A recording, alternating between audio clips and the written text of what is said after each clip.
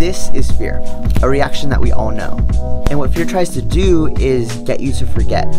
Let me explain. People aren't afraid of driving until they get in a crash.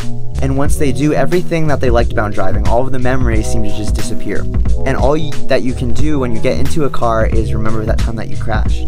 So, fear at its core is having a confident expectation in the negative, basing my present by past outcomes.